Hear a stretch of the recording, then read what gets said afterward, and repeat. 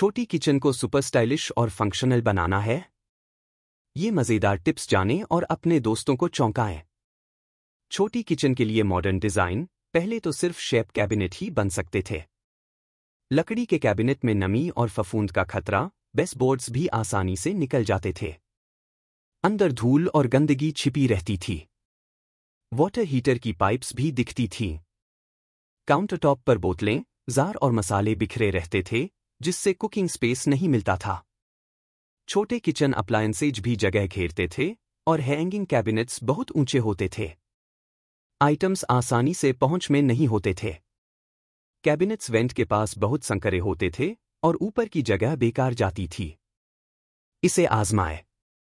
लाल ईंट का फर्श, ऊपर टाइल्स, ईंट क्लिप कैबिनेट्स के साथ, कस्टम कैबिनेट दरवाजे लगाएँ जो सुंदर, टिकाऊ और नमीरोधी हों।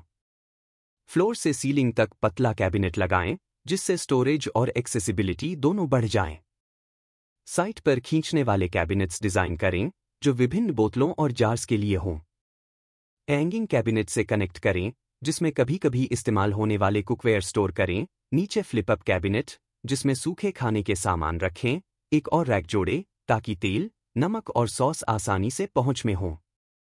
पहले चावल, तेल सब्ज़ियाँ सीधे फर्श पर बिखरी रहती थी। अब कोने का पूरा उपयोग करें। एक साइड चावल, आटा, तेल के लिए और दूसरी साइड मेटल बास्केट्स में सब्ज़ियाँ और फल साफ़ साफ़ दिखे। काउंटरटॉप पर ट्रैक पावर स्ट्रिप्स लगाएँ। आम अप्लायंसेज के लिए यहाँ जगह बनाएँ। वाटर हीटर को पतले कैबिनेट में लपेटें। वेंटिलेशन के लिए लूवर दरवाजे लगाएँ। नीचे परफोरेटेड पैनल्स जोड़ें। जिससे गंदे पाइप छिप जाएँ और स्टोरेज भी बढ़े। पतले कैबिनेट को एक्सटेंड करें। हर इंच का पूरा इस्तेमाल करें।